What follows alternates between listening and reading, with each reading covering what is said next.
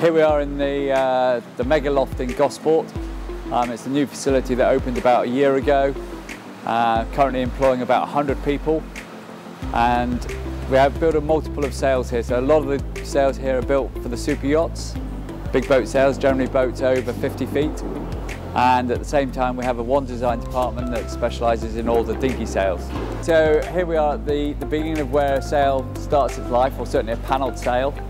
Um, the panels come through from the plotter onto the table and then in this area they're put together as a jigsaw puzzle. So initially they're stuck together with double-sided tape and then as they work through the building they go through a seaming process, a joining together process, a patching process and eventually into handwork where the sails are actually finished. The company was originally founded by Lowell North in 1957 in a small sailmaking facility in San Diego and compared to where we are today in this super loft facility, um, things have moved on a long way. I personally worked for the company for, um, well, since 1982, so a long time, and I've seen some massive developments going on, and as a company, we keep pushing on.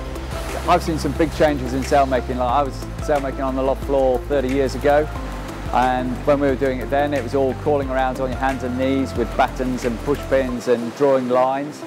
Now all the sails are cut on a plotter and we work on a table and everything is done at um, waist height, so a lot less crawling around, a little bit more efficient.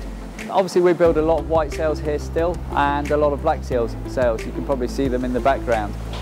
Uh, the black sails are generally the more higher performance sails with carbon in them and obviously carbon is a generic fibre is black. Having said that we do white sails that do have carbon in them too but generally there is a move to black sails, whether it's a fashion statement or just people prefer the black sails. The best one is always a stitching time saves nine. So um, having sails regularly serviced or inspected is, is a massive benefit.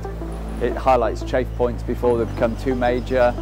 Any little rips or something that's happening, you can identify it, try and find out what the problem is on the boat and prevent the problem turning into a major catastrophe.